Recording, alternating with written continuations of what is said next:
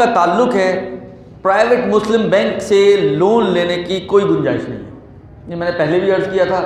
شاید سمجھا شاید نہیں پایا تھا تو بعض کو کچھ غلط فہمی بھی ہوئی، لیکن پھر میں کلیئرلی عرض کر رہا ہوں آپ کی خدمت میں کہ پرائیویٹ مسلم بینک، مثلا الحبیب ہے، حبیب میٹروپولیٹن ہے، یہ پرائیویٹ مسلم بینکس ہیں۔ ان سے اگر آپ لون لینا چاہیں تو اس کی کوئی گنجائش نہیں۔ شرعی طور پر کوئی اس کی ایسی شکل نہیں بنائی جا سکتی کہ جس میں یہ صحیح ہو جائے۔ یہ لون ایٹ دا اینڈ سودی قرض کے اوپر جا کے ختم ہوگا اور سودی قرض کا مطلب کیا ہے؟ وہ ساری روایات کہ جو سود کی مذمت کے لیے آ رہی ہیں وہ سب ہمارے کو یہاں سے آ کے پکڑ لیں گے اور ہم بھی اس سود کے مجرم قرار پائیں گے۔ بس سودی اعتبار سے یہ معاملہ سودی معاملہ بن جائے گا۔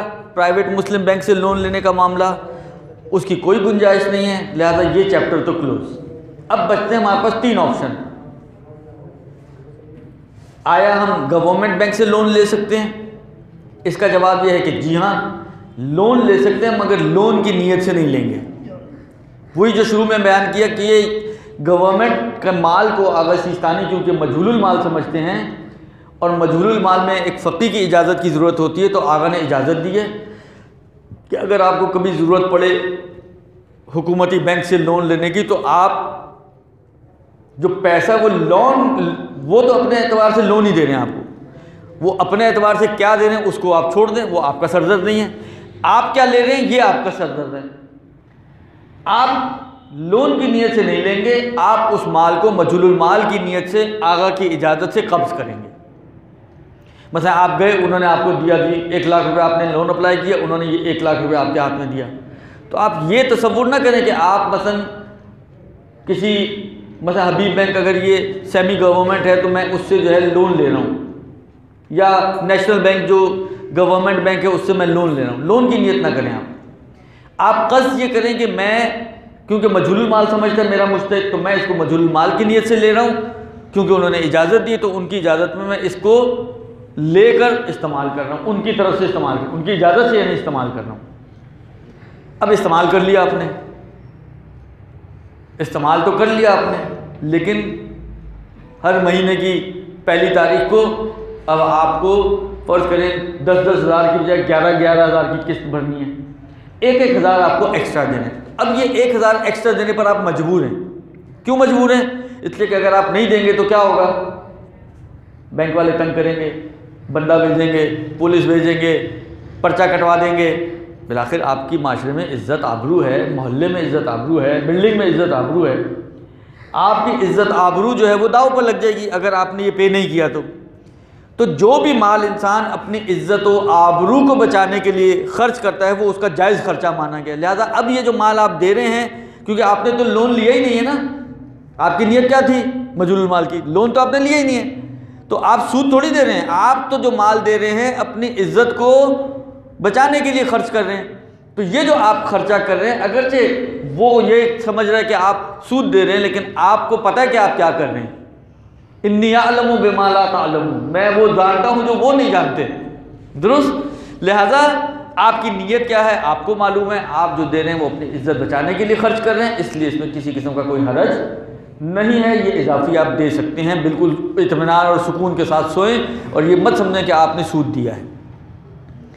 یہی گورنمنٹ سیمی گورنمنٹ کا ہے، یہی گورنمنٹ بینک ہے۔ دونوں کیونکہ مجھول مال کے حکم میں آتے ہیں تو دونوں کا حکم یہی ہے۔ تیسرا بینک جس سے آپ لون لے سکتے ہیں وہ ہے کافر بینک۔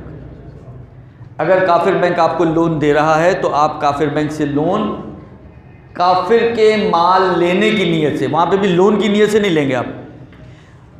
کیوں لے رہے ہیں؟ اس لیے کہ شریعت اجازت دیتی ہے کہ کافر کا مال اگر وہ آپ کو دے رہے استعمال کے لیے تو آپ لیں، کھائیں پئیں عیش کریں۔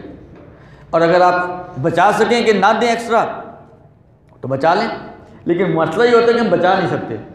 کیونکہ یہاں پہ بھی وہی کہانی جو ابھی گورنمنٹ بینک میں سنائی، وہ ساری یہاں پہ بھی آئے گی۔ بندہ آئے گا فون کریں گے، پولیس آئے گی، پرچہ کٹے گا۔ یہ ساری مشکلات ہیں۔ اور محلے میں رہتے ہوئے کسی کے گھر میں پولیس آئی بلاخر اس کی عزت کے اوپر حرف آتا ہے۔ تو اب یہاں پہ بھی جو یہ پیسے ایکسٹرا دے رہے لون تو اس نے لیا ہی نہیں، اس نے تو کافر کا مال سمجھ کے اٹھایا ہے۔ اب جو یہ ایکسٹرا دے رہے تو یہ ایکسٹرا اس اپنی عزت بچانے کے لیے خرچ کر رہے لہٰذا یہ اس کا ایک جائز خرچہ مانا گیا۔ جب جائز خرچہ ہے تو نہ کوئی حرام، نہ کوئی گناہ۔ لہذا یہ بھی اس کے لیے صحیح ہو جائے گا۔ بس لون لینے کا جہاں تک تعلق ہے پرائیویٹ مسلم بینک کے علاوہ باقی تینوں بینکوں سے لون لیا جا سکتا ہے۔ صرف آپ کو تھوڑی نیت اپنی چینج کرنی پڑے گی کہ لون کی نیت کی بجائے اگر کافر بینک ہے تو کافر کا مال لینے کی نیت سے۔ اور اگر یہ گورنمنٹ بینک ہے یا سیمی گورنمنٹ بینک ہے تو مجھول المال کی نیت سے اس مال کو آپ اخذ کریں گے۔ اور اس کے بعد پھر جو زیادہ آپ کو دینا پڑے گا، جو چوتھا مرحلہ تھا، اس میں کسی قسم کا کوئی حرج نہیں ہے، کیونکہ وہ آپ اپنی عزت و آبرو کے تحفظ کے لیے مال خرچ کر رہے ہیں۔ تو بہت مختصر، میں اس سے زیادہ مختصر نہیں کر سکتا تھا۔ یہ سب سے مختصر میرے میرے حساب سے میرا بیان تھا، جو میں نے آپ کی خدمت میں عرض کر دیا۔ لون لینے کا مسئلہ بھی آ گیا، پیسہ رکھوانے کا مسئلہ بھی آ گیا، زیادہ لینے کا مسئلہ بھی آ گیا اور زیادہ دینے کا مسئلہ بھی آ گیا۔ میرا نہیں خیال کہ اس پہ کچھ اور یہاں پر بینکنگ کے حوالے سے بچ رہا ہاں البتہ ایک آدھ چیز اور جو اس کے ملحقات آپ کہہ سکتے ہیں۔ بعض لوگ جی فکس اماؤنٹ رکھواتے ہیں تو فکس کا بھی یہی مسئلہ ہے۔ فکس رکھوا کروا کے آپ رکھوائیں یا سیونگ اکاؤنٹ میں رکھوائیں جو فکس نہیں ہوتا، دونوں کا مسئلہ ایک ہی، جیسا کوئی اس میں مشکل نہیں ہے۔ اسی طریقے سے مثلا فرض کریں کہ بعض لوگ جو ہے وہ سیونگ سرٹیفکیٹس لیتے ہیں۔ تو سیونگ سرٹیفکیٹس کا بھی تقریباً یہی مسئلہ ہے۔